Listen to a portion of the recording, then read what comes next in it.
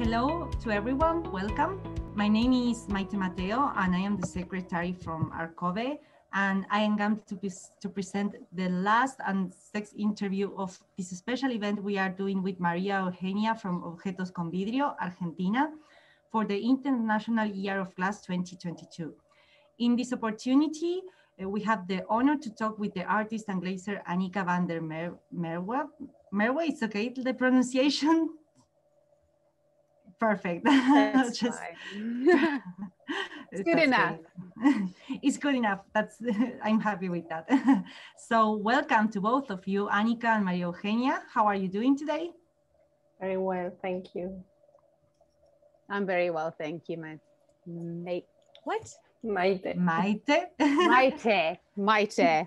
Thank you very much Perfect. for having me today. we are very pleased.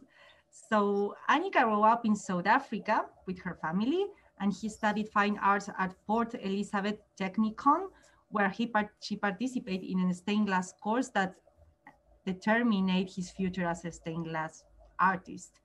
So she traveled to London to, uh, let's say, professionalize his technique on painting stained glass, but she also had the opportunity to work in different workshops and have some knowledge about restoration and conservation on stained glass windows.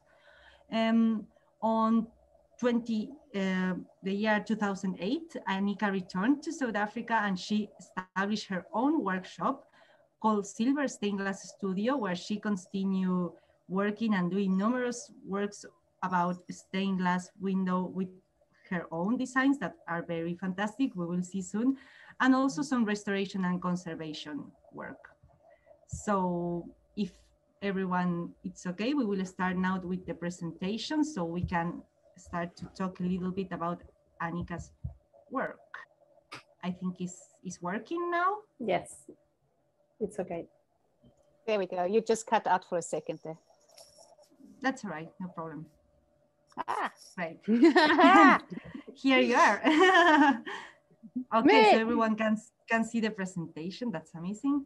So to start to know a little about you, Anika, we would like to know where did you grow up and how is that your interest in for arts starts to grow and then how you finally get in touch with glass? Ah, well, I didn't get in touch. I didn't um, see any stained glass for quite some time until I was a bit older. I uh, grew up in a little farm town in the Eastern Cape of South Africa, and there wasn't a lot of arts there. It was mostly little, um, it was mostly sports and you know that kind of thing.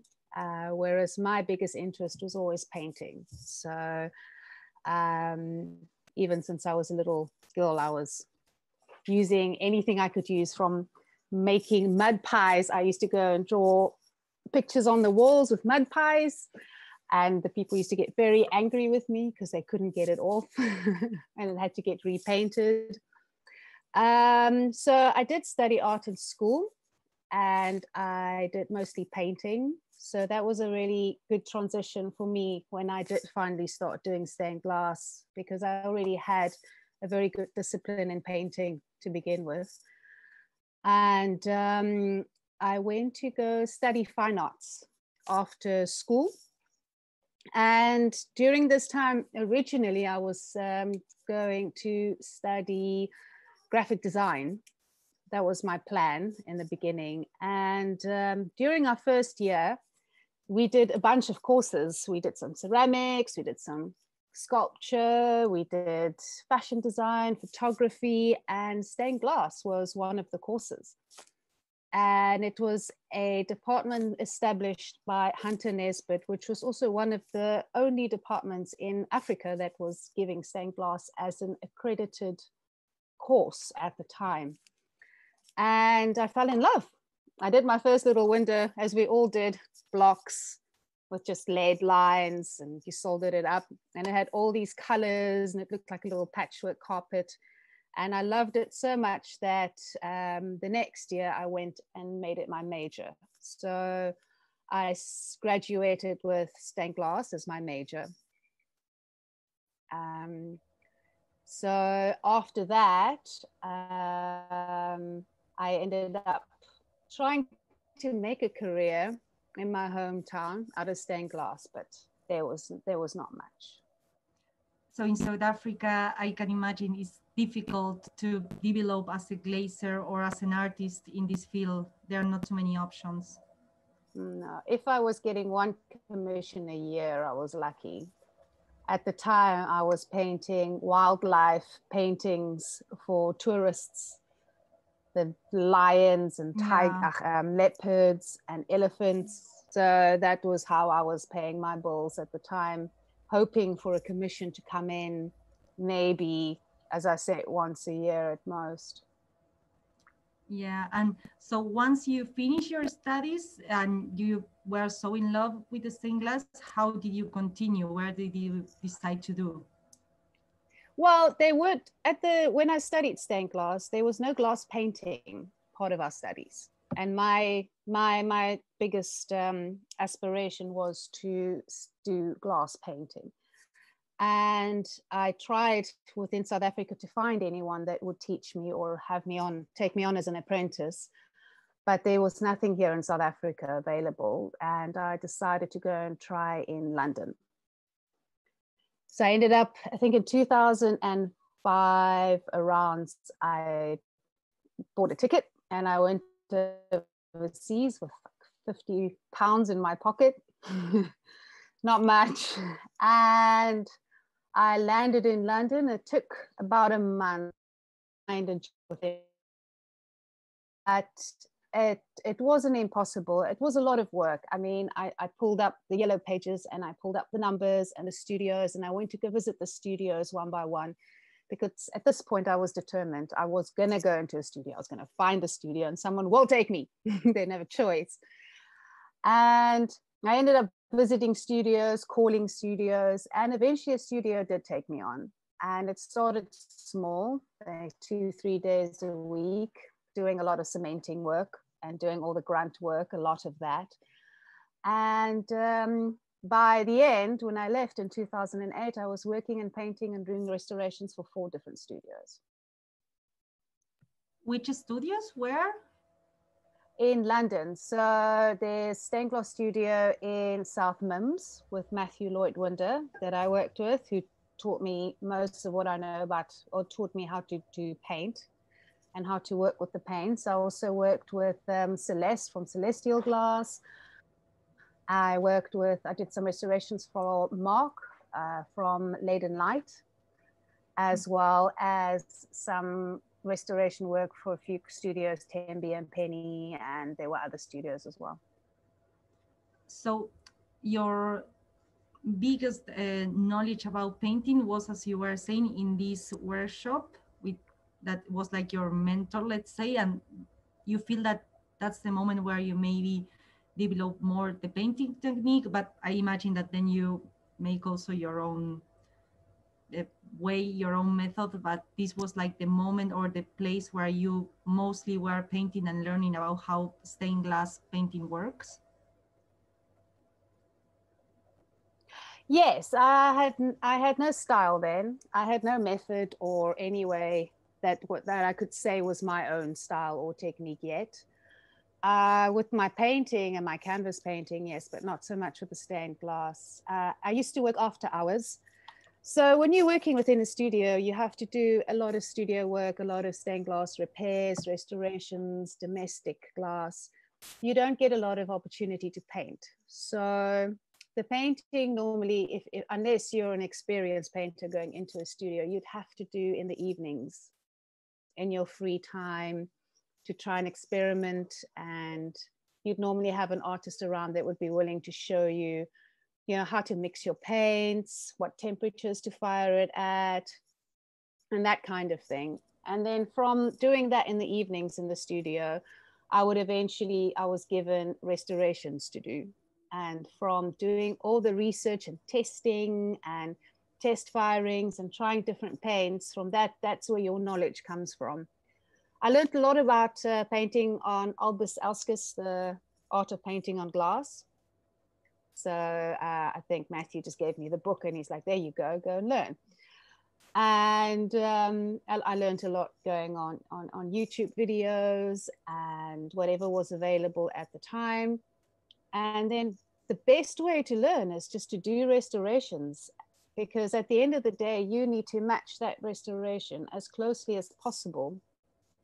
And you can only do that by testing your paints constantly. I had shelves and shelves of little pieces of tester glass and different paints that I tested. I mixed paints.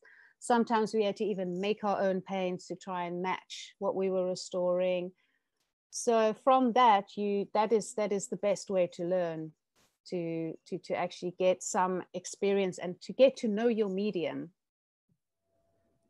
So during the normal hours of work, that help you to get more knowledge and practice about more restoration and conservation in London.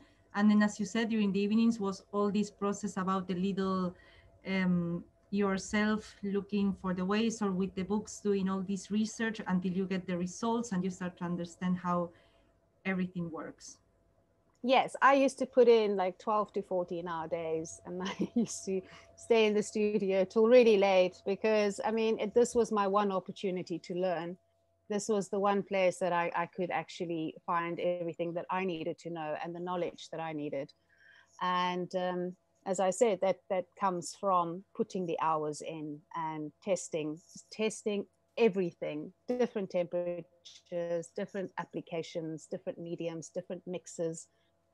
Um, and that that's basically how how you learn unless you have a very experienced uh, master craftsman that can teach you these things if you don't have that, you only learn by experimenting. And, and this you can do at home. You don't even need to learn to do that in a studio. Yeah, there's a lot of things you can practice, maybe that you don't need all the facilities. So it's just, as you said, it's hours and hours until you see how it works and how it works better for you also. You need a small kiln like I have over here. This is my little kiln. And this kiln fires five, six times a day, almost every day testing, testing, testing paints all the time. And I still test every day. okay, so um, something I was interested about asking is if in England you feel that like these extra hours you were doing during, during the evening that were more maybe for you, for your personal approach, if on the workshop this was not never a problem, or if you receive uh, like kind of helping from the people that was working there that see you interesting like um, i mean if, if in the workshops you have this freedom about could do your own thing without any kind of problem.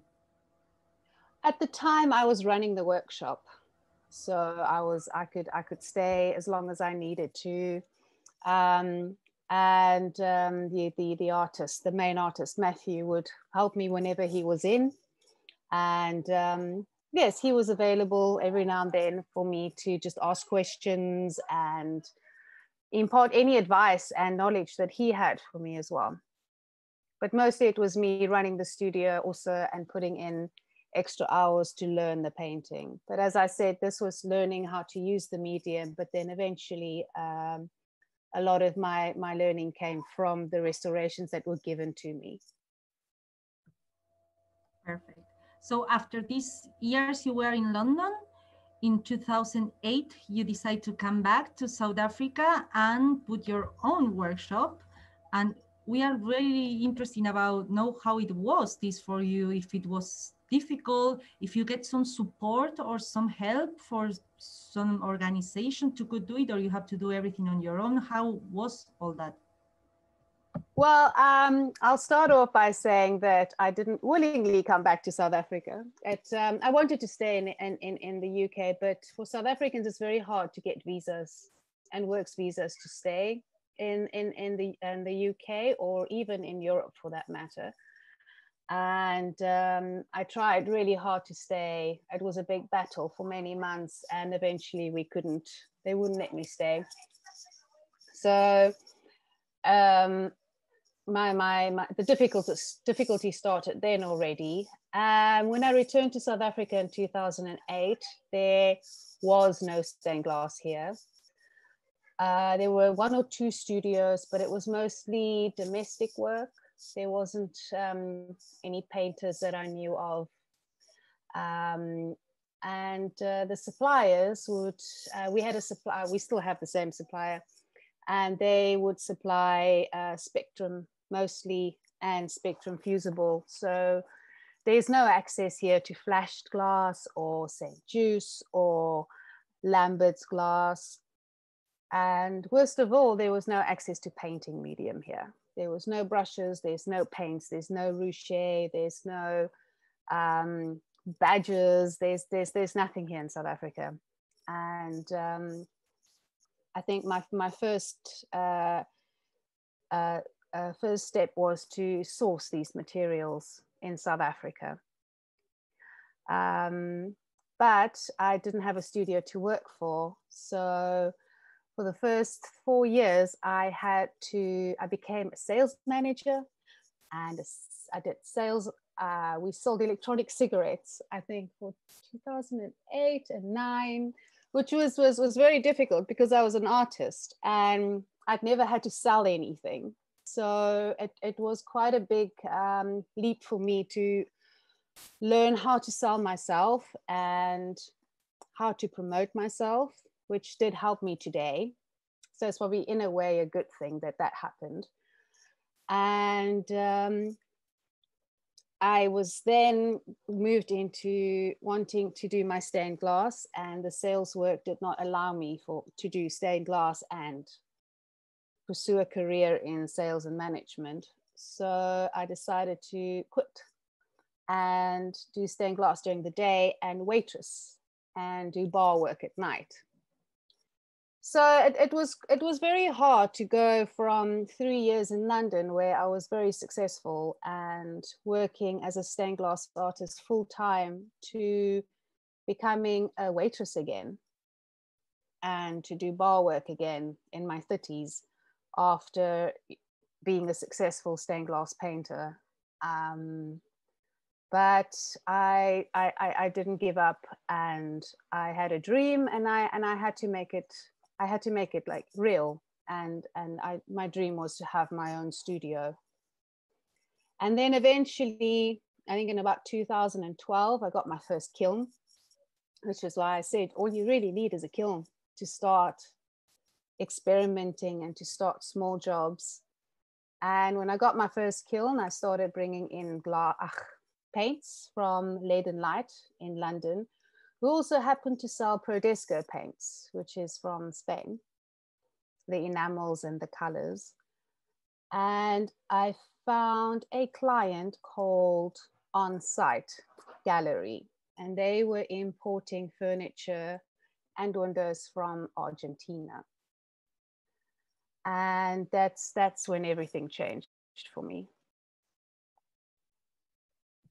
so after these years that you were trying to set up your workshop or something during south africa and a lot of work you said in 2012 it was when you know these contacts is when everything starts to go better you have your kilns or you can already start to do your stuff and that's how maybe you start to get more commissions and how the workshop slowly starts to work. Yes. So after this period, these years that was really difficult for you in South Africa to try to start with your workshop, finally you could slowly get there and start to have your commissions. And now what we are seeing now is one of the works you you did that it was for an Asian restaurant that you are working for. So we would like you to tell us a little about how it was this commission and how it was for get the materials, the design. Well, actually, this wasn't even a commission at the time. I was working for an Asian restaurant and um, they had these two front doors that had these two long panels in the middle and um, like I said, I was doing stained glass during the day and then waitressing at night. And I thought that this would be a really nice opportunity for me to put my work in somewhere where it, a lot of people would see it and something for me to work on. So uh, it's a design that I did of my own. And um, it was a piece that I originally made for these Asian windows and uh, Asian restaurant doors. Um, but it didn't go in there at the end of the day. So the restaurant got sold and I got to keep the piece. And um, that was also one of my first pieces that sold, one of my first fish that sold to a private collector. Amazing. So here we can see a little the process of the painting. In this case, you use uh, enamels or what kind of materials did you use to produce this for, window? For this one, I decided to use a variety of spectrum water glass as well as enamels. So the, the, the pieces at the top is actually float glass, normal clear float glass that I stained with um, blues and amber enamels um, to give it the grading from the bottom that was more the blues up into a more sunset at the top that would be on the water if, if you were to look un, un, un, under the water surface. Um, the fish itself, uh, you can also see it, it was a very light, um, I think at the time it was a, a flesh, a flesh toned uh, a bullseye fusible glass, the, the body, and then you'll see the lower part of the body, I think, was also an amber water glass, if I remember correctly. And then I also stained the bullseye with the, with the amber enamels. Also, um, note at this point, bullseye does not take enamel very well. yeah now that you are mentioning the materials so all these the glass all the painting you were always buying all these on other countries right? As you were saying in south africa you couldn't buy it so you had to always buy the material outside to good work. So what what happened is because I, I we did have we do have access to water glass and some fusible bullseye and spectrum glass. What what happened is because i don't have access to um, mouth blown glass or flashed glass was I used to create my own colors with enamels. So what I would do is I would put a blue enamel down, which I would then etch away, and I would put an amber enamel behind it. So I would create the look of flash glass, but by using enamels on on on float glass. Um, so I would say the fact that I didn't have access to these to these beautiful um, mouth-blown glass in South Africa is also what helped me push me out out of my comfort zone into experimenting more because I know what stained glass can look like and I and I know what what can be achieved but I didn't have the materials or the means to achieve those certain effects. So I found different ways of doing it it's amazing, but it's great how you all the research you have to do and all the process in order to as you said i don't have this resource but i can make myself something new to could make it work as i imagine. I just can imagine you hours and hours doing this and i think it's remarkable all the work you put on your passion and i think it's something very important to say and to congratulate you because not everyone does it and i think the results you get and the quality of your work is amazing. So I think you did a great job and you do an amazing job developing the painting technique. It's just beautiful. It's really beautiful. Thank you. Thank you very much. This one that we are watching now was also for this restaurant, was for the same, for the second door? Actually, no. The first one, like I said, the, the restaurant closed down and exactly. um, that ended up being my first fish.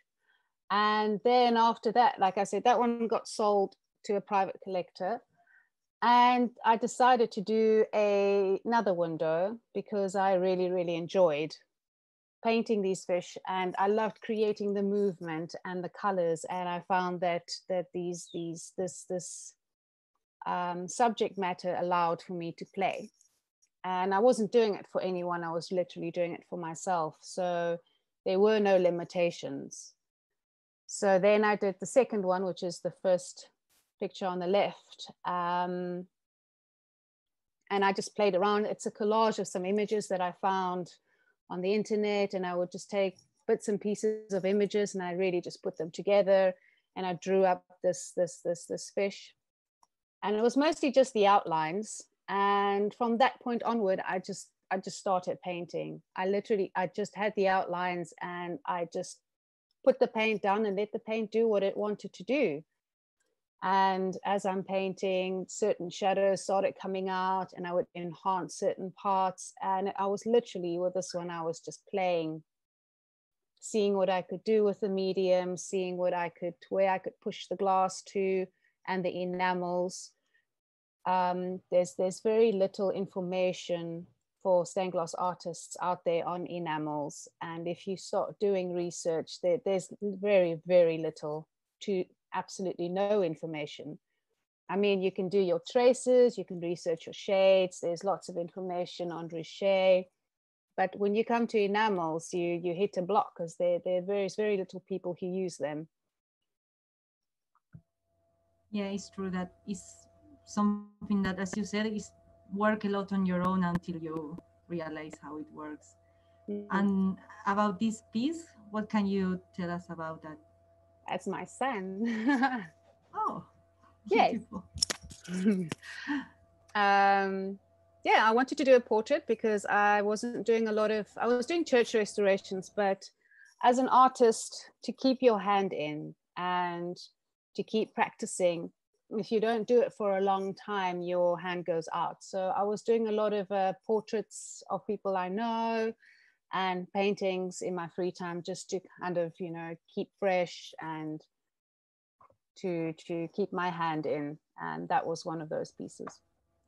And in this case you have a, an color glass and all the color or the details we see is all work with painting always right yes uh, the the center part with the portrait is float glass again and the rest is mostly spectrum glass Hmm. And at this point, I was also using mostly enamels, very little silver stain, because I didn't have access to silver stain at the time.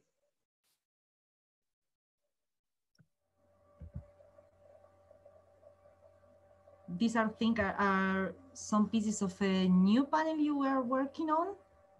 Yes, it's my current project I'm working on.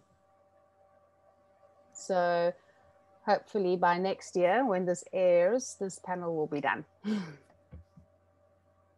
So it's in um, process now? yes. This is about a year's year's project that is in process at the moment. That's my dodo for you the, the nature or the animals is something that it, let's say artistically or for your compositions for your designs eh, is something that influence you a lot, the nature, or you have some kind of specific things that you like to use or that makes you do the designs the way we see them, or how it works, the, uh, yeah, let's say the design process. Mm-hmm. Oh, hello there. Inspiration. Uh, yeah, so I was just about to say, there you go. Um, I don't think that there's a very specific influence there at all. Like I said, with the fish, it was more about the movement and the shading and and and what I could do with all of that in glass. Um, I love creating movement in glass because a lot of people see glass as something that is static and still, and that's something that goes into a church or that is religious. And for me, glass is not just color, it, it's not just shading or lines. Glass can move because glass is a frozen liquid and glass in itself is, is always moving. And to me, glass is, is, is in a state of liquid that, that needs to be illustrated as such. And that's what I try and do with my painting as well. I try and follow the movement of glass and I try and um, bring that out in whatever my my subject matter is, whether it be a fish or a person or or a dodo, um, which was a commission, by the way, by Anahita Hisami. She specifically commissioned the dodo. But um, that that is um, what I what I strive to do because a lot of people focus on line work or shading or portraits um, I'm always trying to push the glass to to more than what we are traditionally, you know, what we know of glass. great. And about this window that it, it looks bigger maybe than the other ones we were looking before. It's massive. Yeah, so maybe it was something, tell us about how it was this, what is this commission about and where is it? And maybe about the measurements, if it was a challenge for you or if you find some new yeah, things that you have to develop in this project. Um, this project was about two years ago. This was a, a panel for a film set. Uh, Ridley Scott, he um, just did a series. Oh, I forget the name now. Raised by Wolves. Sorry. and um, this they they approached me about three weeks before the episode had to start. Uh, had the shooting on the episode had to start and um, the production company approached me saying Ridley Scott wants to have a stained glass window for set and it has to be original and whether I would be able to paint this in three weeks and it is a meter high by three meters high uh, wide sorry um so in three, in three weeks you said it has to be done in, completely yeah I had to uh-huh. cut the glass paint the glass lead it cemented and fitted in three, in three weeks. weeks. Oh wow! I had I had some help. Hmm? I had some help, but um, unfortunately, I had no trained stained glass artist helping me. So I, I, had people cementing for me. I had my friends come in and I gave them wine and fed them and I made them clear off paint and stack the kiln and everything that they could possibly do. Um, I literally just fed everyone and just said, come help me. Um, it As you were saying before, you don't have the resources, you find a way to make them. I did, I did. And I, bri- I bribed people. it was, it was it was quite a it was quite a it, it, broke me i would honestly say i was working the full seven days up to 15 16 hours a day every single day by the time i was letting up the last side panel i think it was the saturday afternoon the fitting had to happen on the sunday i was crying i was putting a piece of lead in and i cried a little bit and I put a glass in and I cried a little bit. I put the lead in. I had my one friend going, You can do this and I was just crying. And eventually, I just asked my partner to solder up the panel because he's done some electrical soldering, and I think he learned very quickly how to solder windows on this as well. And um, yes, it was, I think, a very proud moment when I realized that I did this in three weeks, and it looked very, very spectacular in the set on the set itself.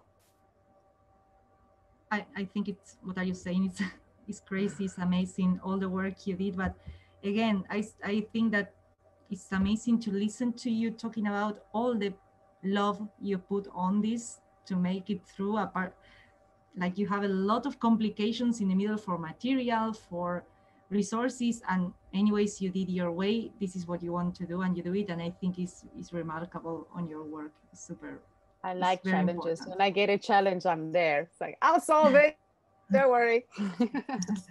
I'm available for this. They're difficult. I want it. So, oh, this project is something we are very, very interested about because yeah. it was a work you did for Argentina. It's a dome. It looks amazing. And we just want to know how is that you get this commission and how it was if if you were in Argentina or the dom goes to you, how you did it, where it comes from. So there's this company that I did a lot of restoration for, On-Site Gallery. Like I said, they import a lot of um, furniture and artworks from Argentina. And um, I restored a few windows for them already. And this this dome by the time I got the dome, I already had quite a, a, vast knowledge of how to restore the Argentinian windows. I'd done a lot of research on their painting techniques and the paints that they use, and um, the enamels, especially. Um, the Argentinian windows do use a lot of enamel because they don't use a lot of color glass. It's mostly a clear textured glass with a with a lot of pattern work and and enameling on them. And then the one day they called me up and they had this massive warehouse. They're like, look, we have a piece here that needs restoration, but um, we think you need to come and have a look. And I arrived there and this dome was lying there in in its panels all mixed up and the panels had fallen apart. And then I got and it was just laid out on the floor. And I looked at it and I said, Well, what am I looking at? And they said, No, it's a dome. Here's the frame. And I said, Oh my God. And then I, they gave me this big box of separate pieces that had fallen out the dome. And they said, "Well, here's the box of pieces that we got with the with this with the dome." And I just looked at it and I said, "Well, what do you want me to do with this?" And they're like, "You need to fix it." I was like, okay, I, am sure I'm, I, I'll try. And I think it took me quite some time to put it together, just just to see how everything fitted together. And um, yeah, that's pretty much how I got it.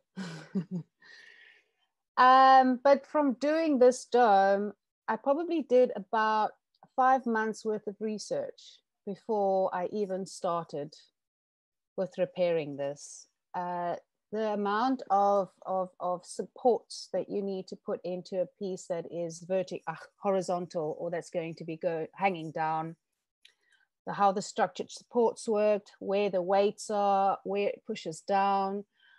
And then I also needed to take in consideration that the South African sun is a lot hotter and the lead perishes much quicker because it softens from the heat. So I had to put in extra supports. And um, yes, before I even started that, I did about that five months worth of research, and the restoration took me about four months.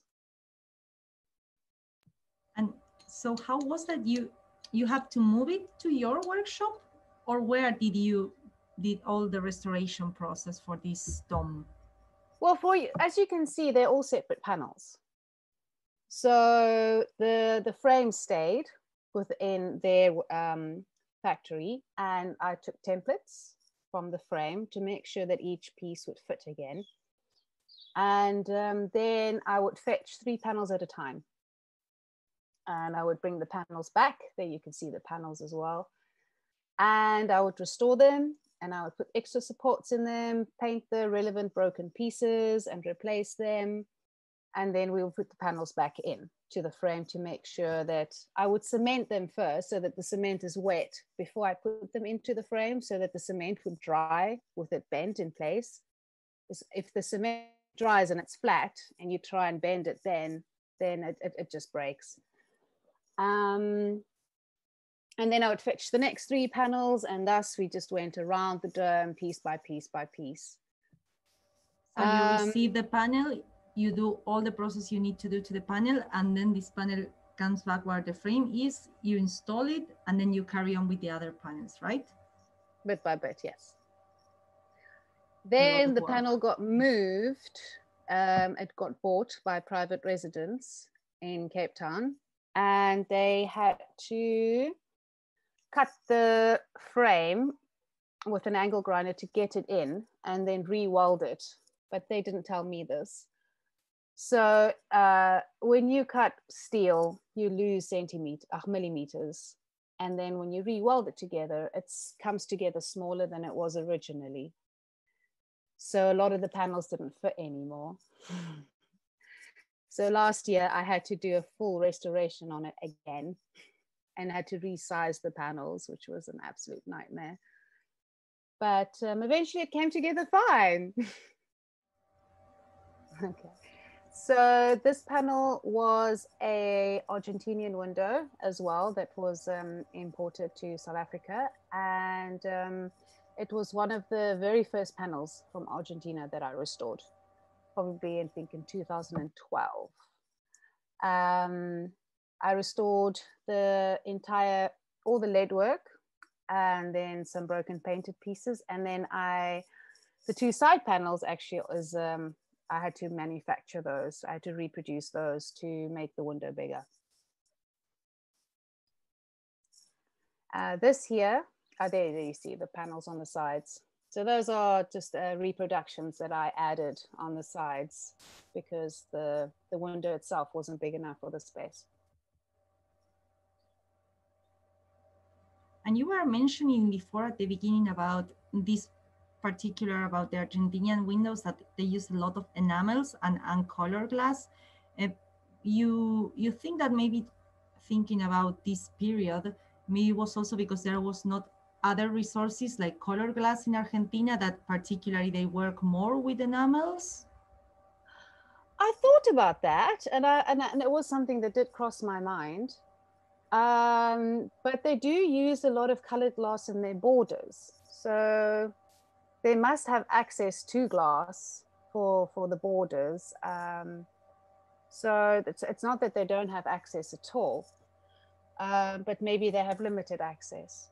But um, I believe that these are from the Buxadero studio in Argentina. And from what I've seen a lot of their work, there, there is a lot of colored glass involved in the borders, but very, very little within the art piece itself. So maybe, maybe that particularly they develop more the painting and it's something specific about this workshop or the way they do I think it was their signature style Exactly. Because you can recognize an Argentinian Buxadero window from a mile away. If you know what they look like and how they get painted, they they are very unique. Oh, there you can see. Um, they're very unique windows and a very unique painting style um, that nobody nobody else really does. That's very good to know. We have these little treasures in Argentina for all the fans that are watching this interview now go and visit the beautiful and visit some buildings and take a look to the stained glass windows that we have people all over the world are are in love with these argentinian windows and people try and collect them i have seen many artists on Instagram and social media restoring them. So they, they, there's a lot of them that has left Argentina and they are literally all over the world.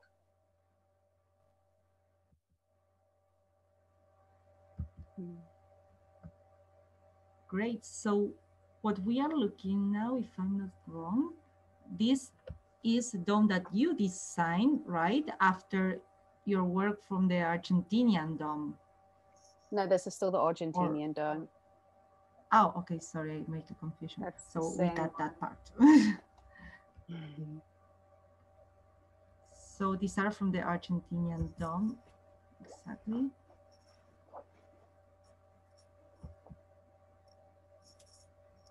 This is some other restoration commissions that you get? This is also from On-Site Gallery. Those are all the, the, the pieces from Argentina that I've been storing over the years. This was a Mayer of Munich window in South Africa. So not only do we get Argentinian domes, uh, South Africa does have a lot of beautiful glass that was also imported late 1800s, early 1900s for the churches that they were building here. Um, and they were mostly Mayer of Munich um, and that's what these are as well. So I've, I've done a lot of restoration on some Mayers all over South Africa. This is also the kind of work that I did in London. These are my own windows. These are, your own designs also? Yeah. Great. So these are church windows that I've introduce. The first one you see there uh, is Springfield Convent in Cape Town, and that is. Um, why is my brain not working today? I did a collaboration with another studio, so uh, Lead & Light Studio, and we we finished this and installed this one earlier this year. So earlier in 2001. Sorry, I forget that this is next year's and this got installed and blessed, I think, two months ago. And um, so that's St. Dominique. And then the one next to it is St. Francis. It is a window I made, I believe, in 2016, 17 for a school in Cape Town called Bishops. And um, this is the St. Francis that I designed to fit in with the rest of the windows in, in, in the chapel, which was Mayer of Munich. So the borders are based on the windows that are already there. So I reproduced the borders, I reproduced the tops and the bottoms and some of the background, and then the saint and animals I designed myself. I love your animals, are amazing. they are all quite cool. I oh, we are having ah again. it was a little cut with the with the sound, but now I think it's okay. Is it good? Sorry, you're gonna have to do some editing. it's okay, no problem. We cannot control everything. So no. we do just a little pause. And these details we are seeing right now, they are also for this church you were mentioned before. Yes, the uh, one on the left exactly. is Saint Dominique, which is the lower part of the previous window, and this is a close-up of St. Francis. Perfect. I do enjoy designing church windows, and I've sold a lot of my drawings um, so sometimes I get commissioned to draw, there's one of my drawings, to draw up these windows for other studios. So you don't, you just do the, what is the cartoon, like what we are yeah. seeing here, the drawing, but maybe you, you don't do the window. The window is done straight away on the studio. Yes, sometimes I would sell my cartoons to other studios because not everyone can draw up cartoons. That's, that's a whole different thing on its exactly. own. Exactly. Another glazer we interviewed, Sofia Villamarin from Argentina, she mentioned that she's working actually in Mayer of Munich, and she mm. mentioned the importance they give to the carton in order to could do the stained glass window. And she said that is something that you have to really know how to do it because it helps a lot and it makes the work eh, like Much it's easier. an essential part of the work in order to have a good quality painting.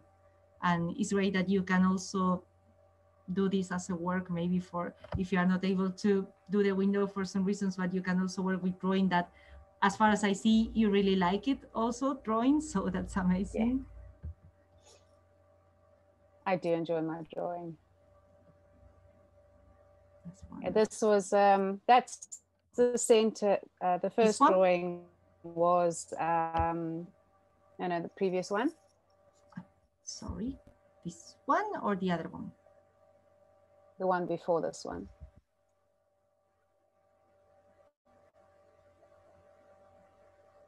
This, no. There we go, that one. That is the center I lined for my dome that I've, I've that I just finished, my own personal dome. You'll see there's a lot of influence of the Argentinian windows in there. Um, and the, the, the the middle the middle circle is based on one of the panels you saw before. That was an Argentinian restoration. The circle around it is also based on another Argentinian design. And then the outer border of the roses is my own work. So I did use a lot of the um, Argentinian windows influence when designing this, this dome. So the one next to it is the, yeah no, it, it just I, I found very interesting how Argentina have a place on your on your artistic work. It's really it's really cool. The style really fits in with my style. My style is very very similar, and having done all the restorations, I feel very comfortable with the because all the Buxadero style match how I draw and how I paint as well. So it's very similar. So it was it, it was it was a very easy thing for me.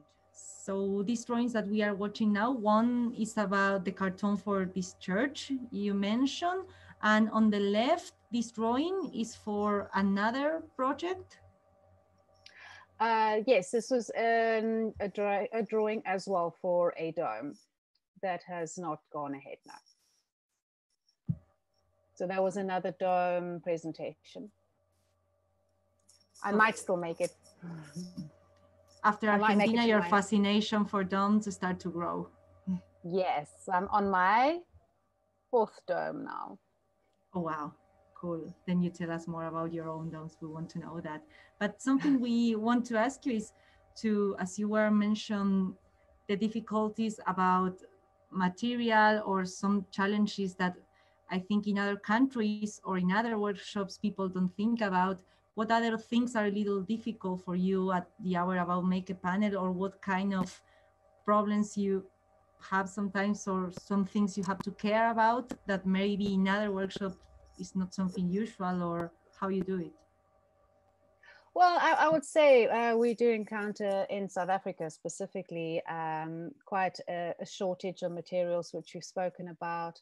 Sometimes I would have to slump my own glass for restorations because of the lack of a variety of glass that we have here. You can't just pop to a shop and go get yourself sea glass or mouth blown glass. So a lot of the time, if I'm doing a restoration, I would make an imprint and a mold, and then I would slump my own glass to make it look like the originals.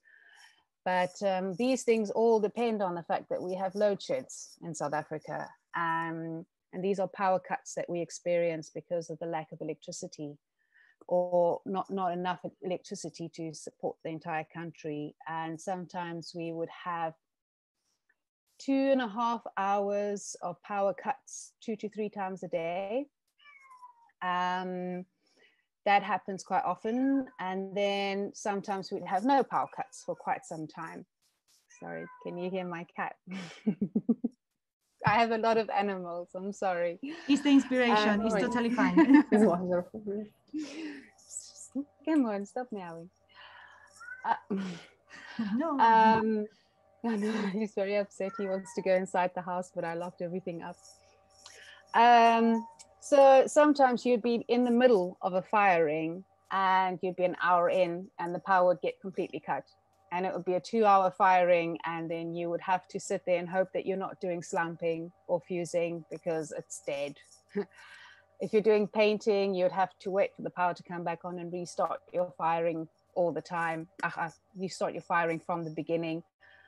Um, so you've got to be aware all the time of when these power cuts are going to happen when there's no electricity you can't work on the light box so sometimes I wax up sheets of glass and I have to put all my glass and then work with natural light, which is sometimes better than working on a light box. Um, so yes, you have to kind of work around all of that as well. Um, so it's not as straightforward and easy as, as, as it sometimes looks on no. um, on social but I, media. I found or... that you uh, about the power cuts is re- it can be a very big problem if you are in a rush for a commission. For instance, the big commission you were mentioned before, that you have just yeah. three weeks. Imagine that this happened a couple of days. It can be really. Yeah, I would not have made problem. the deadline. Yeah, but I no. I can imagine for you all these things. Like I just found really incredible how you go through this and you always find for a solution. You have a plan B or something like. I think it's not so easy for everyone to imagine all the things, all these obstacles. Like for an instance, workshops in Europe or in other places maybe don't have all this situation. In Europe, it's very easy to get the material, or if it's a big workshop, I suppose this problem with the power is not so big, so they don't have to worry about. And all these little things made the each work like yeah more more and more like effort and put a lot of organization and a lot of planning on it and it's not so easy at all. No yes and and it does it does make your your your turnaround time in the studio um, much shorter because now you have to always think of other things to do during those two and a half hours which sometimes like i said would happen three to four times a day so if you have a two and a half hour power cut twice within your working hours that's five hours of studio time that you have to fill with something else to at least yeah. keep production going. Exactly. Yeah not yeah. easy. And tell us a little about this picture we are seeing now about this project. Uh, these are these are some of my favorite pieces. These are collaborations with an artist called Week, and she has created this world called uh, Molisha and she's an animator and illustrator. And her she has this this this um, a private artwork and world that she's created, her personal pieces, and um, I've been in love with her work since I think since 2008 or nine, and um, I met her about two years ago, and I was like, "Oh, it's you!" and I was just so in love with her. And she said, I want to do some stained glass and I want to turn my pieces into stained glass. And I, and I was so excited that one of my favorite artists came to me and said that she wants to work together.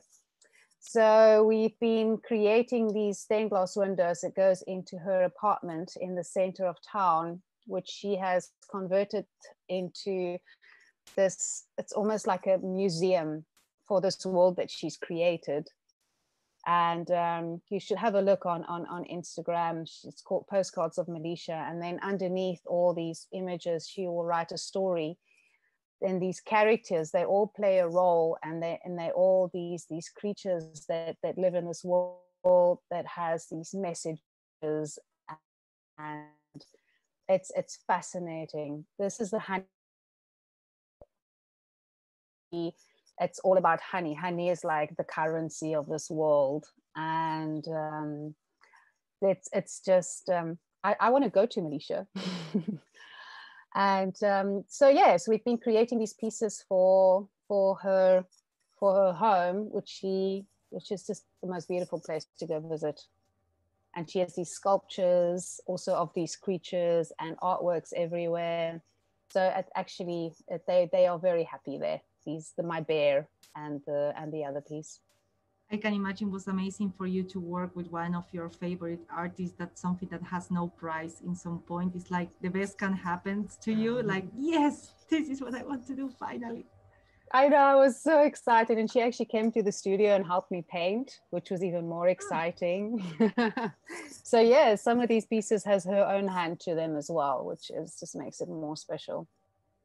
And it was the first time you did a collaboration with other artists? Was the first experience for you? Um, yes, I think she was my first artist collaboration. I've done some with other artists, um, but this is this is um, my favorite. And no, it, it, it, it was a, a great experience, and we're very good friends to this day. Great. We're going to be making more. oh yeah, please.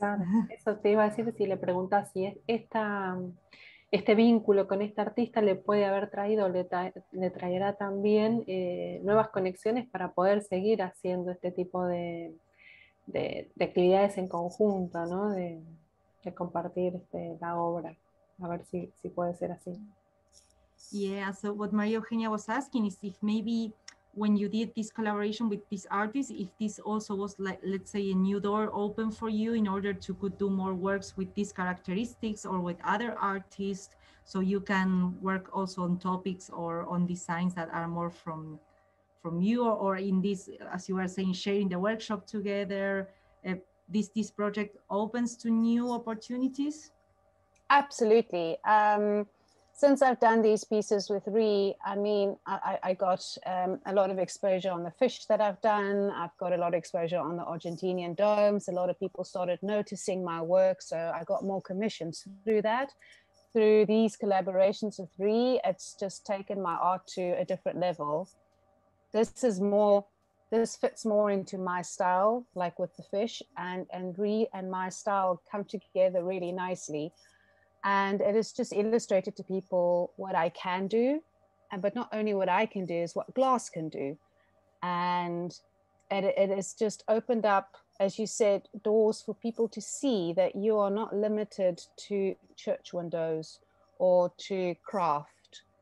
Um, it opens up a whole new world of stained glass can be fantasy, stained glass can be illustrative, stained glass can be fine art, stained glass can be anything you want it really and her art just illust- it translates so beautifully into stained glass that people have to notice and people have to see and i, I think it surprises a lot of people um, in the sense of they didn't know you can do that with stained glass and exactly. um, yeah.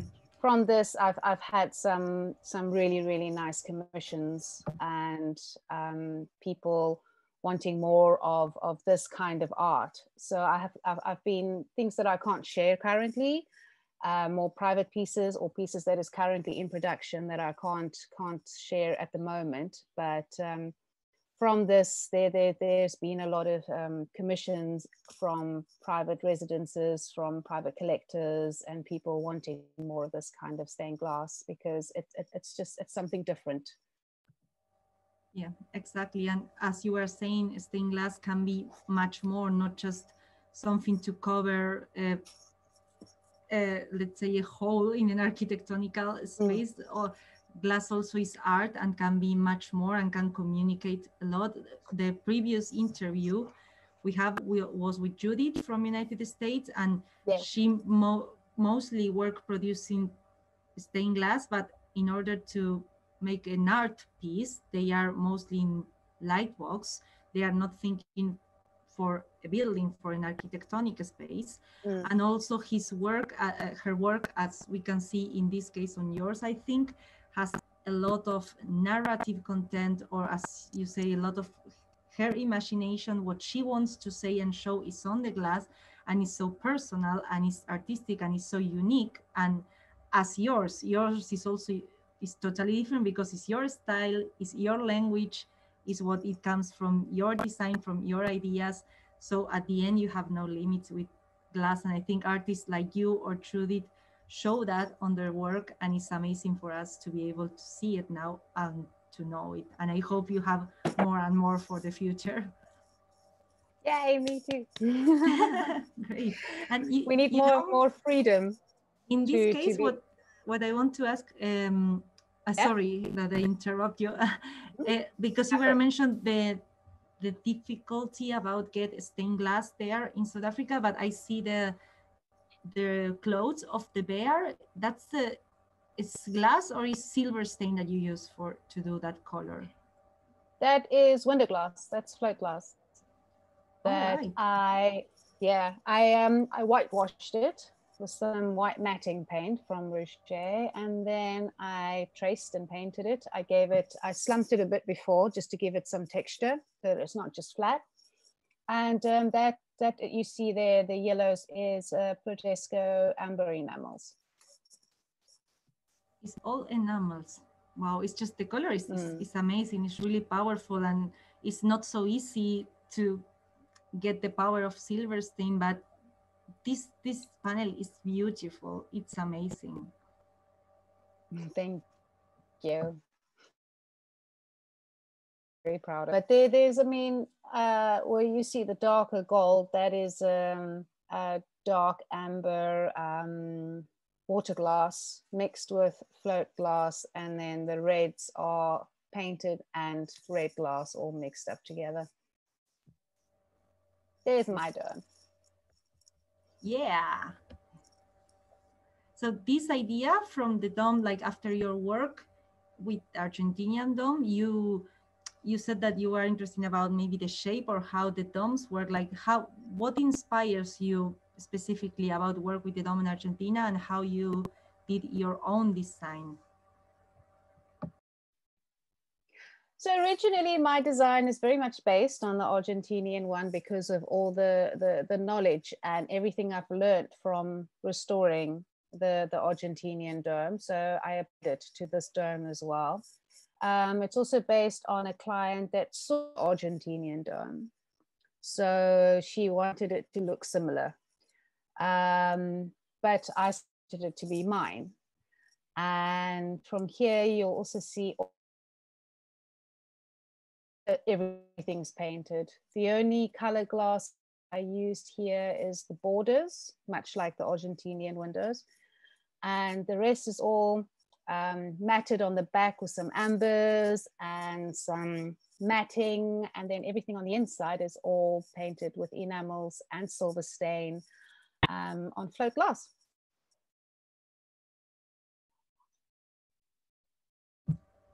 And how long takes you to do your own dome? How much were you working on this commission? Um, I worked on it. I'd say if I'd had to put all the hours together that spread over two years to make this, it will probably be about six to eight months worth of work. Um, but because I had other jobs in between, so it was spread out over a time period of two years. But there was a lot of testing that I had to do as well, because, uh, like I said, the South African weather, you can even see on the left there, there's some rust happening on the frame. And there was some, you know, some of the paint would, be, would become powdery because I'm very close to the sea you'll see that the, the, the lead there has started oxidizing and started becoming white because of the sea air. Um, I, I, live literally a kilometer or two kilometers away from the beach.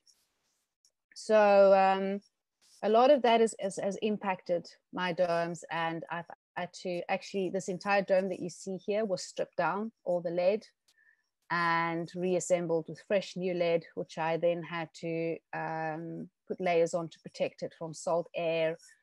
I had to also put more tie bars and more structural bars on it because it would sag more uh, more quick quicker than usual windows because of the heat.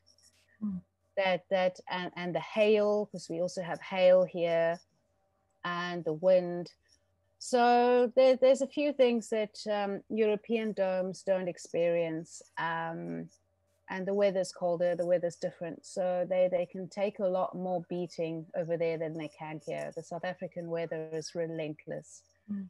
I was asking um, the temperature there. How is the temperature? It can really get high. up to it can get up to 40 degrees Celsius on a, on a hot summer's day. Wow. Yeah, that's a lot. And sometimes even higher. I mean, it's hit, I think, 43, 44 at some, at, at on really like, extremely hot days.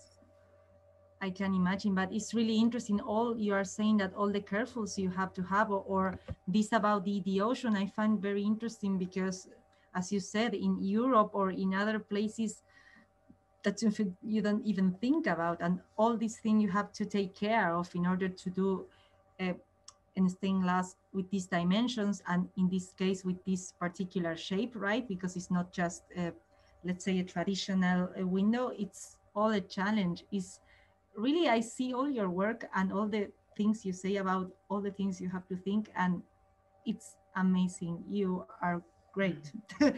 no, really, seriously, no, not everyone can do something that what you are doing with all these difficulties. For you is not not a stop. There's a problem and you make a solution. And i think that makes your knowledge huge that you learn a lot it, each it, day. it's a lot of research. It involves a lot of research. So a lot of my problems i go and i also speak to a lot of people um, I have good friends overseas that I can pick their brains. I'm part of, you know, some stained glass associations, and we're all asking questions. So there's a lot of people and groups out there that are willing to share their knowledge. I mean, the American Stained Glass Association have, I mean, you sign up there, they have these Zoom call, uh, these Zoom meetings, and they have these even Facebook sites where people share and people can talk about their knowledge and people can ask questions and people are just constantly because stained glass it, it's like alchemy isn't it?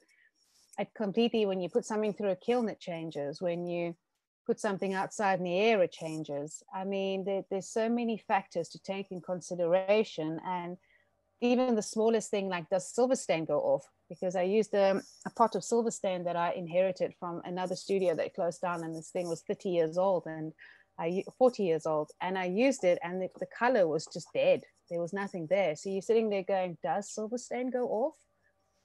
So these are all questions that these groups they they are there, and and as if you want to pursue a career in stained glass, there is a lot of help out there, and there's a lot of people with a lot of experience that are very very willing to share and is very generous with their knowledge. So a lot of that comes from that as well. That's amazing. I think, and I think. Oh, sorry, finish. Mm -mm.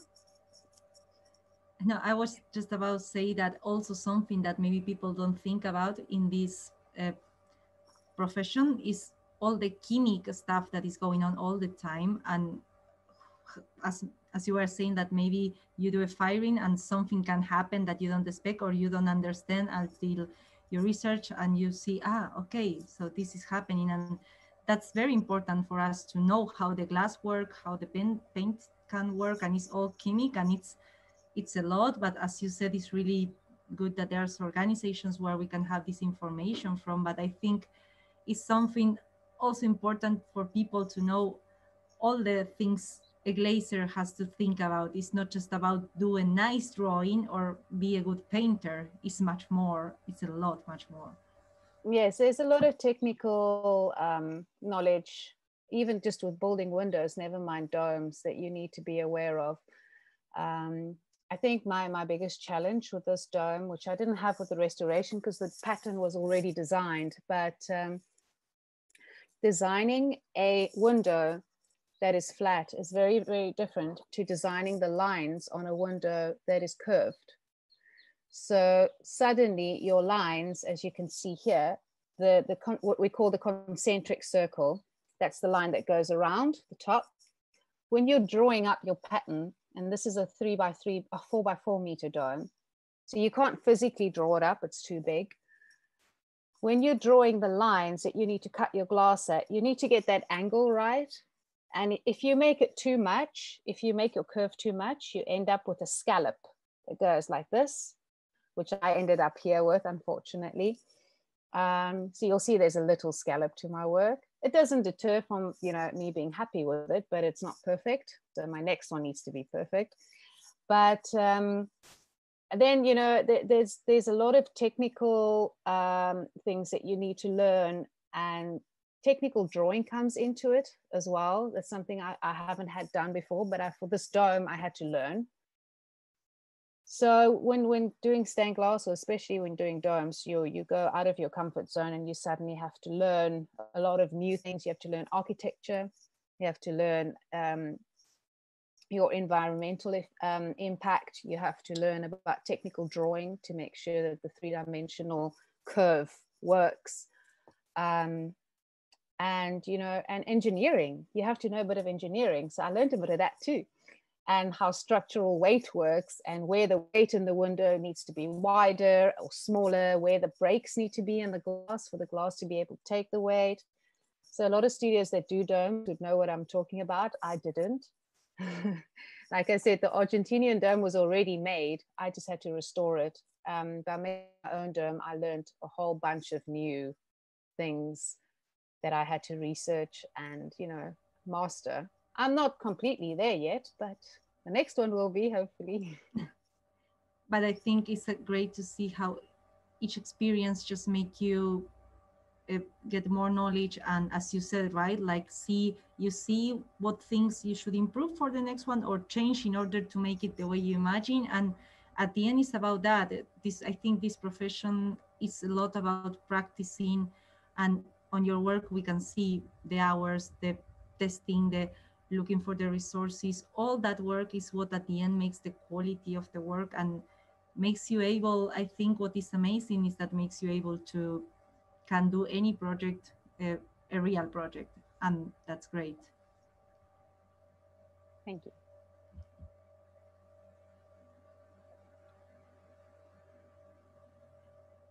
Those are the different processes of painting the dome. Um, from the this, one on the, yeah? This is more the lines and not, not the color yet, right? Like the previous step. Mm. So the piece on the right, you'll see doesn't have any color yet or, or matting. That is just the float glass, normal window glass. And then you'll see on the one on the right, that's when I started adding matting. And that's where the color of the actual glass starts changing as well. And then the very, very last firing, add your enamels and your colors because they fire the lowest. To a low temperature that the other painting you use. Hmm that you were mentioning that the last thing you do is the enamels and the colors because the fire temperature is lower than the other one you yeah. used before for the mats and the lines. Higher, at least 100 degrees Celsius higher than your enamels.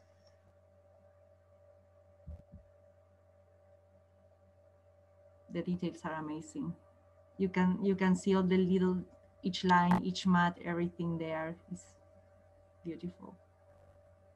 This is also part of you can see there's a bit of testing happening there. So what I do is I take my enamels and I paint them over a piece of clear glass. And I'd fire that and I would take those little samples and I would place them onto the artwork mean- itself before I I, think I can. You mean this one, right? This piece that you put on, yes, that put on piece top. there. Yeah. Yeah. So I do that a lot. So I would fire pieces and I would place it over my painting to see what would happen if I would put that color there. And it's a very good way to see what it's going to look like without having to fire it and then it looks awful and then you have to restart again. Exactly.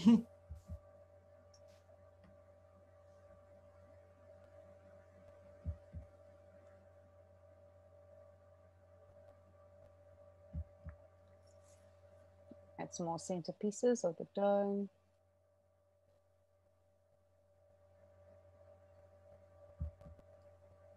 Oh, these are more details about the bear. the honey bear. There you can see the robe. Las flores. Yes. The flower. Yes. Ah, y preguntarle por el tatú que tiene en la, en la foto anterior. De, This one. sí, que es el tatú. Mario Eugenia is asking if i- this tattoo you have on your right arm that we can see in this picture, and I think there was another one where, Yeah. ah no, it's better in this one. If it has some meaning or something to do with glass.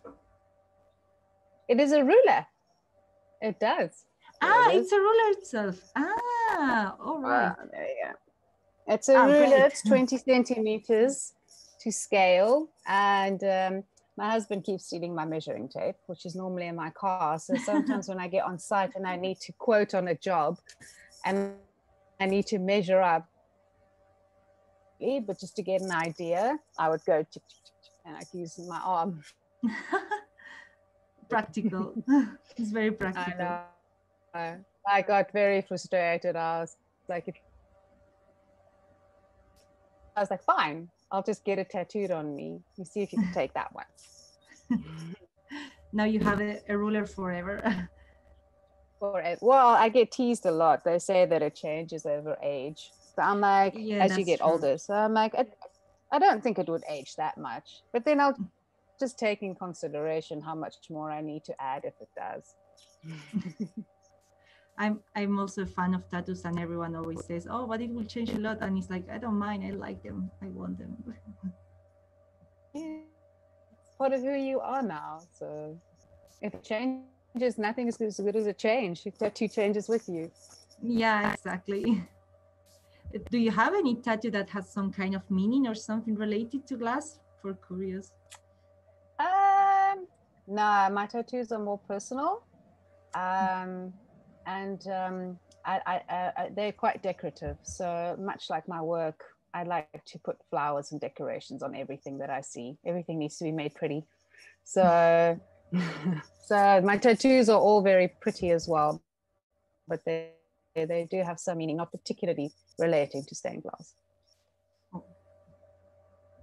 So here we have the last pictures, mostly of your more personal work. This is the one that is still in process, right? You said that it will be finished Yes. soon, we hope. Okay, cool. Great. So I will stop to share screen 20 now. I think, okay, great. Now we are, the, it's, it's amazing all the work Wonderful. you have Wonderful done. work. Em, sí, a mí me gustaría que le preguntes, em, ya que en Sudáfrica son pocos, ¿cuántos son y si están nucleados entre ellos? A ver si se colaboran de alguna Una manera. asociación o alguna comunidad de vidrieras. Sí, o un contacto, un contacto como para colaborarse, ¿no? Perfecto. Yeah, Mario, what Maria Eugenia was saying is as interesting to know, as you were saying in South Africa, it's not many people that works with the stained glass. If you know exactly how many people works on this field and if you are in contact with them or maybe it's like a little community or group that you are in touch or you know each other yes yes we actually did unfortunately covid has shut down a lot of the studios um, um, hold on the internet's going okay i'm back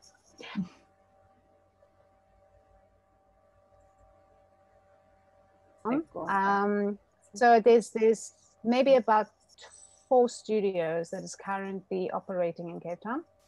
Sorry, um, start, one, because sorry, start it again since you say how many you are because it was a cut, so ah. we have it clean. Sorry. Se está cortando mucho ahora. ¿no? Mm. Shall I start from the beginning? Yes, yeah, please. to say how many you are or how it works exactly.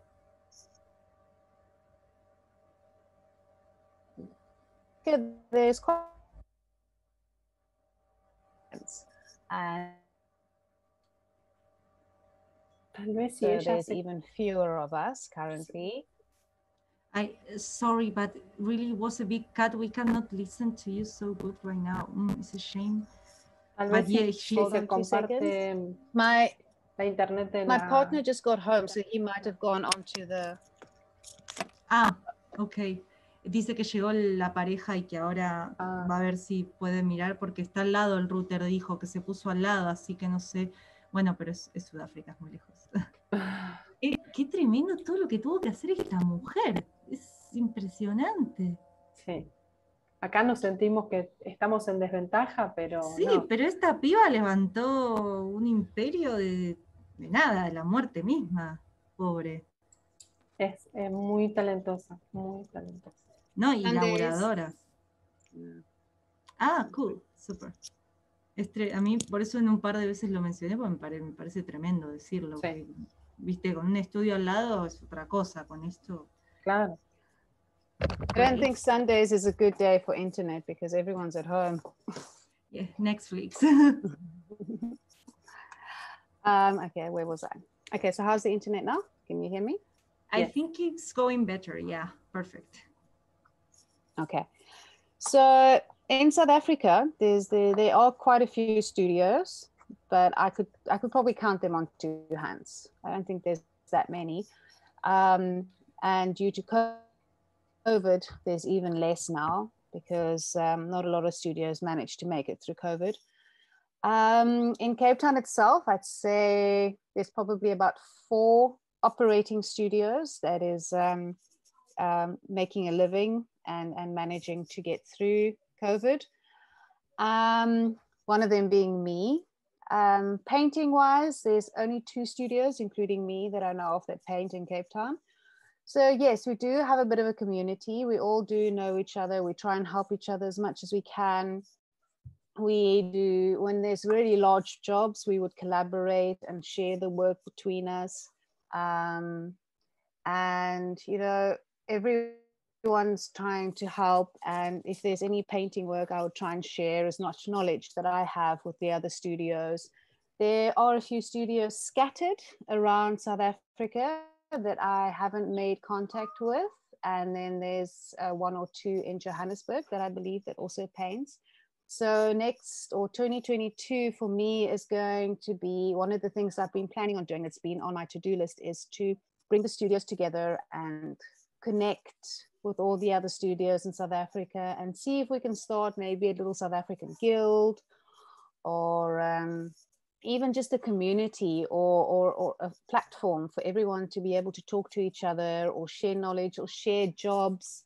There's been a lot of, um, we've noticed people that don't really know how to do stained glass that's been pulled into restoring churches and they didn't know what they were doing so we sometimes get called in to try and fix what other people have done. And this purely happens because people don't know that there are professional artists out there.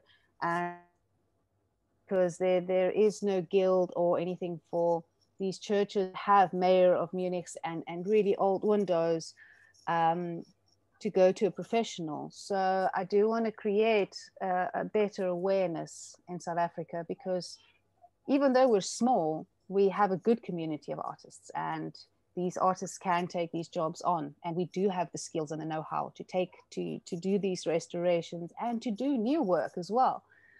So i think it's more a, a question of people not knowing and uh, um, my my hope for the future is if there's enough people doing stained glass and if there's enough people that are interested in painting we might actually get people to start importing more glass and to start importing more paints and make it more accessible for people here to start glass painting and to try their hand at it. Because i'm sure there's a lot of amazing artists out there that would absolutely excel in in painting on glass if they had the tools or the medium or someone to show them where to go or how to go about it.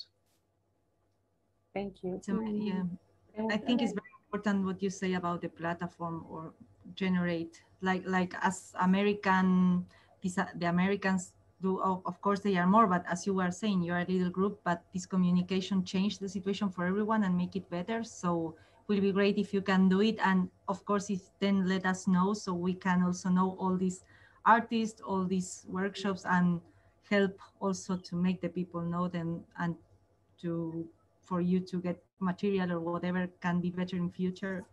That's amazing. Mario. It really, sí. Yeah. No, yo les quería It really, it's. Dime, mm-hmm. dime. So, yeah, sorry. no, talk, Anika, sorry. No, no, I was just trying to say that it, it's sad when people and, and unfortunately we do have that mindset of where people say want to share this because people are, are keep the work for yourself. The more people you train up the more competition you create. And what people don't understand is competition is healthy and sharing and, and teaching more people creates a bigger interest which in turn is big better for the industry but keeping it to yourself and, and, and trying not to teach people and, and keeping your knowledge to yourself is very, very damaging and detrimental to the trade. Yo le quería preguntar qué dificultades y qué beneficios le trajo estos dos años que hubo de pandemia, 2021 y 2020, eh, estando ahí con, con, su trabajo. Sí, bueno, eso cómo, cómo los vivió. Mm. Yeah, so Maria Eugenia says, how was for you this the last two years with the pandemic, 2020 and 2021, if it was for you, because as you are saying already, it's very difficult to work on this field on South Africa. So with the pandemic, how was it? Was worse uh, for you? Was a new challenge, or you could keep your work? How it was it?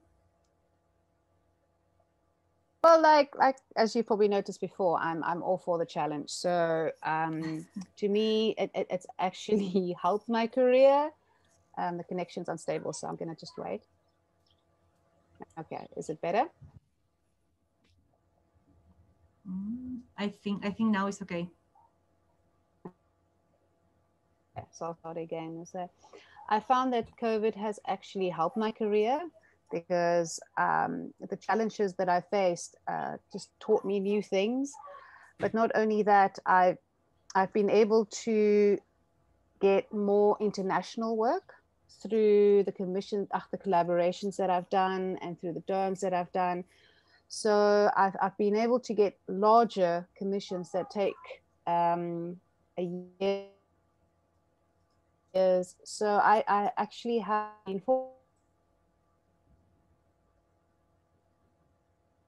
I've noticed that there's a lot of sitting at home and a lot of people want to do things that they didn't think about before. So if you're sitting at home and you look at this way to wonder for so long. People are now sitting at home and they're renovating.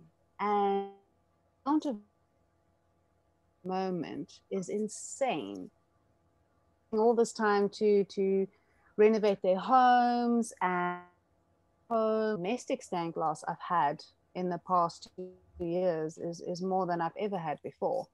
The problem oh. is the other studios is trying to keep up with the demand as our supply has run low because we can't get glass into South Africa. Our last shipment has taken up to a year and a half and it still hasn't landed. So I've been fortunate enough to do glass painting. So I've been able to change my product for the client. So I can offer something new and different for the client that wants a stained glass window, whereas another studio that doesn't have access to glass or lead can't. So adapting your, I've been able to paint colors, I've been able to, um, as you see with the Argentinian windows, they're so simple because it's blocks of clear glass and all you need to do is paint a few beautiful flowers or some drapery on it or a ribbon and people love it. Whereas other studios, they can't do that. So they are more limited to the, the product that they can offer or the windows or art that they can offer their clients. Exactly. For you, you can use uh, a normal uncolored glass, but with, as you are saying, with the painting, you maybe can open your possibilities to much more. But if you don't paint and you need this specific glass with this color, as you said, or you wait or it's difficult to find a solution. Yes, a lot of studios have, have encountered those problems, unfortunately. But it's good for, I mean, it's bad for them, but it's good that for you in the pandemic at the end was kind of positive in some aspect because for all the difficulties you were mentioned before, it's kind of easy to to imagine during the pandemic this woman with all this situation has to be super difficult, but it's it's really good that you could have a lot of work and continue doing your thing. And I, as I said before, I hope you continue doing more and more during this year and next ones. Thank you very much. Yo le quiero preguntar una cosa, si ella quisiera o, o siente que sería importante que, que, enseñe lo que sabe, si así colaboraría a crear ahí uh -huh. ¿no? una nueva comunidad yeah. de, de artistas. Totalmente. Yeah, what Maria Eugenia is saying is actually very important. Like, uh, do you think you you would like to teach what you know about painting or you would like to do a course or go to some institution to provide this knowledge you have to future generations or students that are interested in stained glass do you think is a possibility yes absolutely i mean i have been asked um, by, by quite a few people if I would be willing to teach. Currently, I have so much work that I need to get to that teaching is a bit um, too much to take on right now. Um, but it is definitely something that I want to, when you know work slows down a bit, I will take on or offer, or maybe as I get older and I and I want to, you know, not work as hard as I'm working right now that is definitely something I would want to do. Um, I'm always looking for apprentices. Um, I'm always happy to take them on. Unfortunately, most of the people asking to apprentice with me is abroad. so it's a bit difficult for them to come here. Um, so yes, I'm always open to offering apprenticeship. Um, uh, for for intern i would you know teach and then intern i would get labor. So i'm always like you know offering people to help me and i'll teach them. Um it's just always the problem with that is people don't understand stained glass isn't as glorified as you might see it. It's a lot of hard work and it's a lot of dirty work. Um it's a lot of physical labor that is involved with stained glass. It's it's not about sitting at home or at a bench and painting pretty pictures.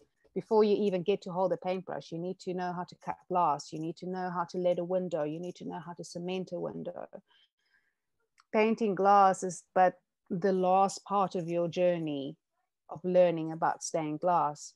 So a lot of people, when they initially come into the studio, are so uh, like frightened off by the amount of, of, of physical labor that stained glass requires that they don't come back.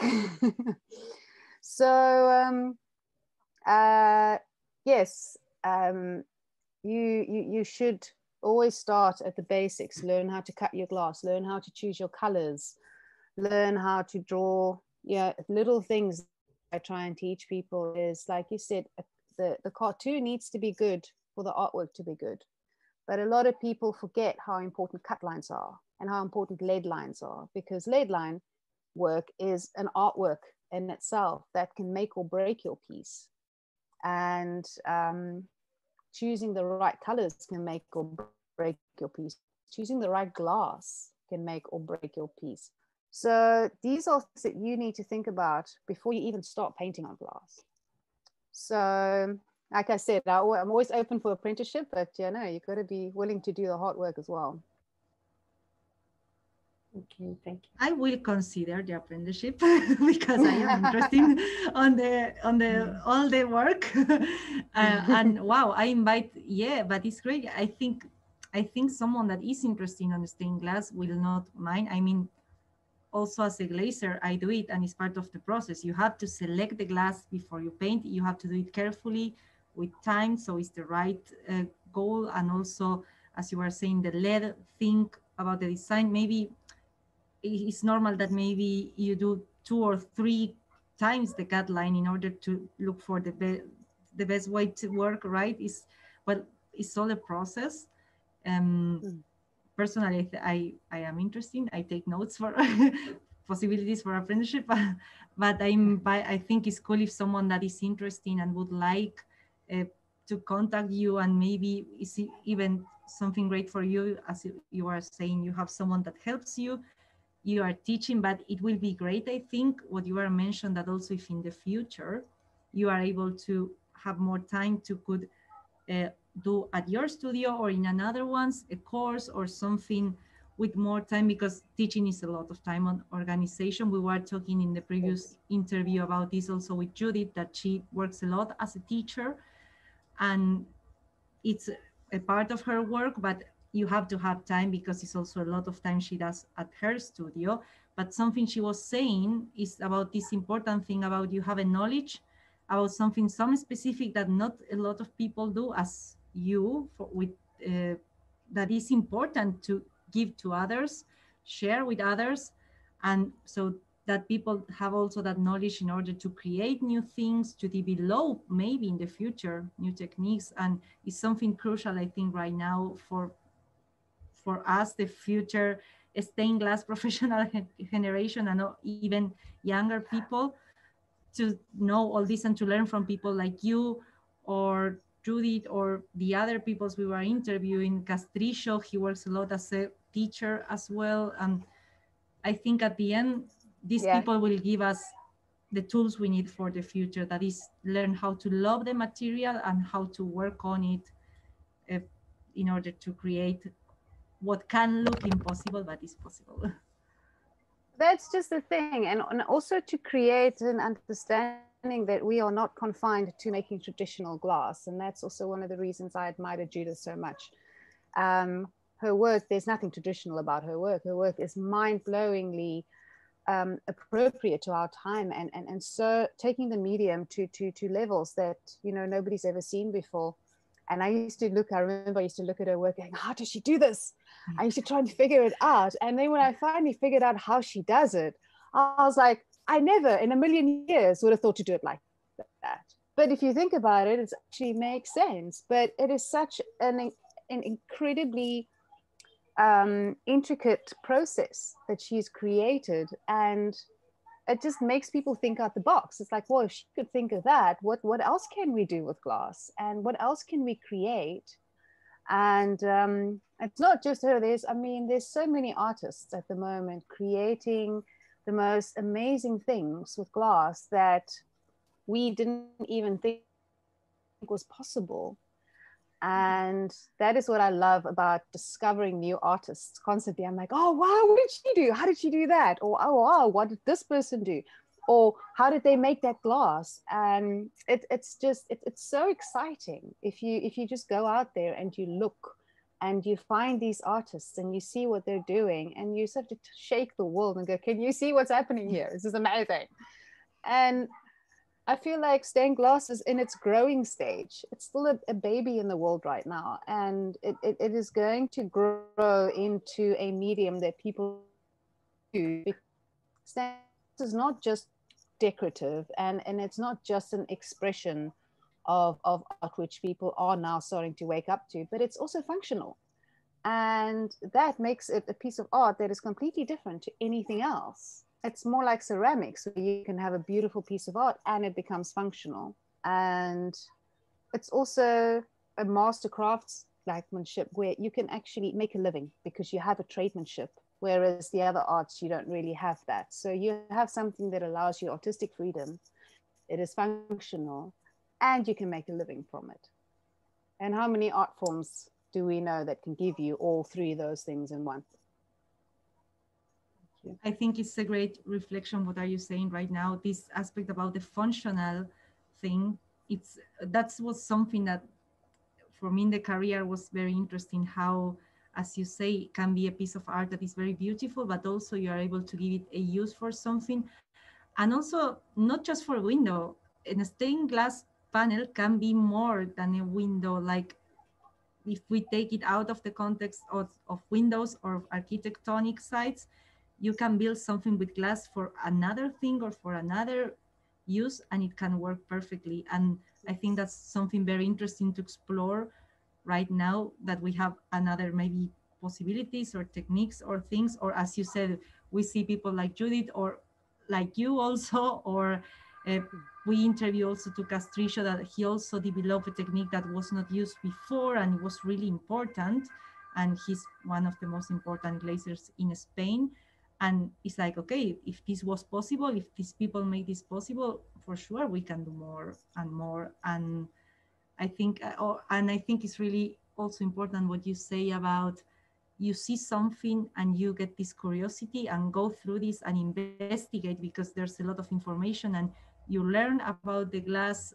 looking for this artist going through the technique how they do it where they do it with what materials and all this at the end just open a wonderful world and open new chances for the future. And that's very important. I agree. mm-hmm.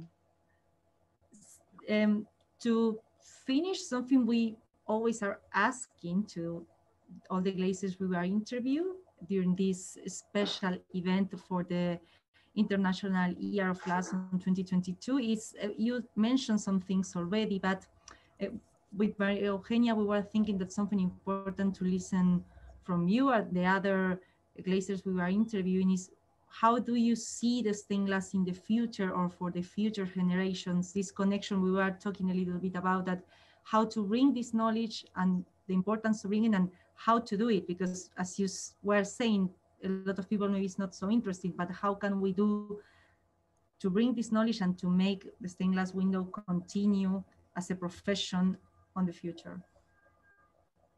Well, personally, I think we're already doing it.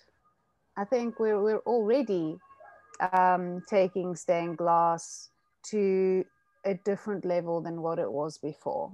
People are already noticing that stained glasses are not just confined to a traditional art form. Um, people are, are already seeing that, you know, in Tom Fruin with his um, water tanks in, in America. I'm not sure if you've seen those. He does these, these, these um, skyline water tanks, which is these, these blocks of color. Things like that, um, that that's made, made quite um, a big, that has created quite a big interest in stained glass where people didn't have it before. So artists doing things like that, that is also in the landscape and, and making people aware that, you know, stained glass doesn't have to be in a church. It can be something that is a random water tank in, in, in, in the city. Um, I think it's just, it, we need to keep on doing what we're doing. And I think people in the past, you would only learn stained glass from a master if you're apprenticing and painting I think that that has been very detrimental to our craft. I think people need to share the knowledge and make people aware that this they can do stained glass and painting. It really isn't that difficult. Once you realize how to paint a trace line and how to fire it and how to apply color or how to fire it, you don't even have to use enamels. Really, you only need silver stain. And from that alone, I mean, how difficult is it to learn those those basic techniques? So it, it, I think people are intimidated by stained glass at first, and then they realize it really isn't that hard. Um, and I think that desire comes from a love for the medium. And I think if, if you're interested in stained glass, you already have a love for it. It's, it's not something, you know, that you have to grow. You either, you know, look at it and you think it's the most beautiful thing or you don't. Um, but yes, I think stained glass is going through a revival, especially coming from a, a country where I am, where it, it is so limited. And to see even here how people are realizing and, opening up to the idea of modern stained glass and, and wanting pieces of art in their house.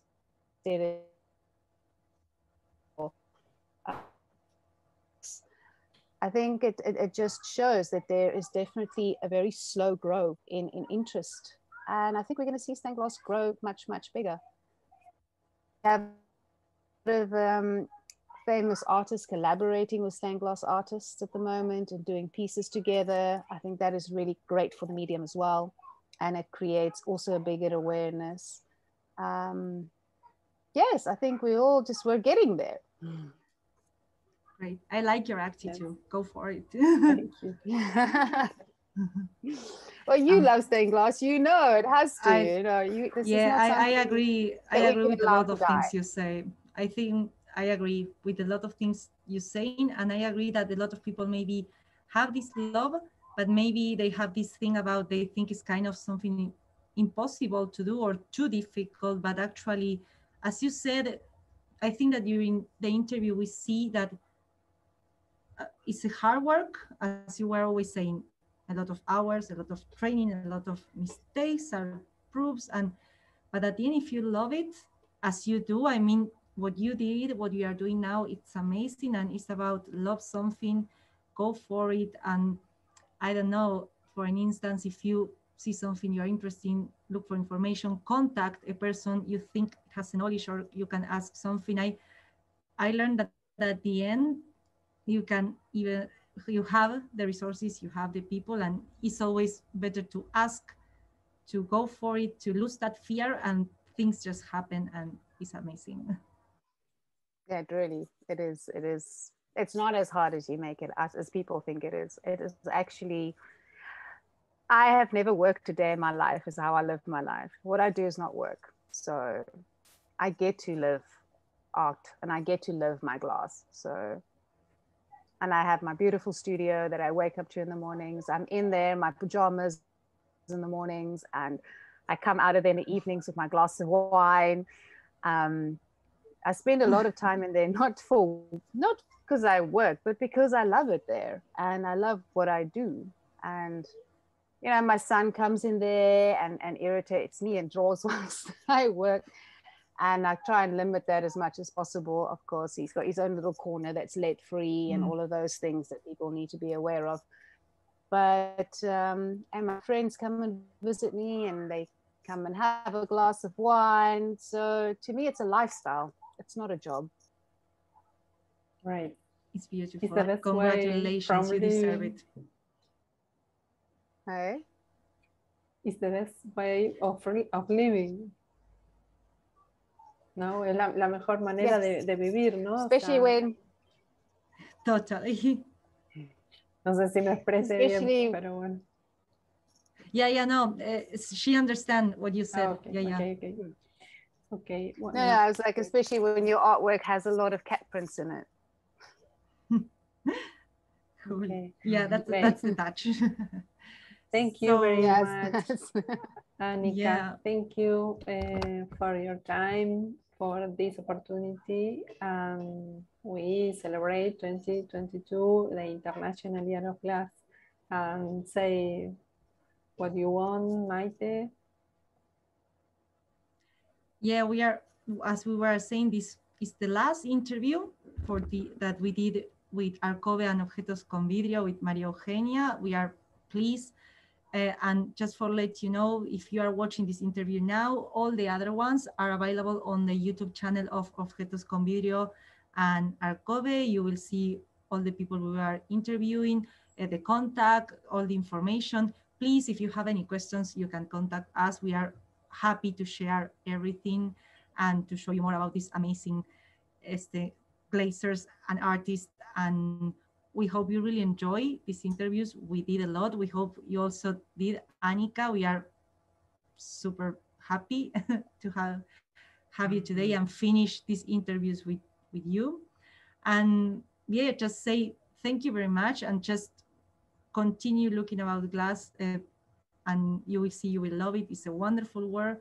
And we hope to finish this 2022 uh, with a lot of new ideas and new energy to continue creating glass. Thank you to everyone. Yeah, thank you. Bye. bye. Thank you, Anika. Bye. Bye bye.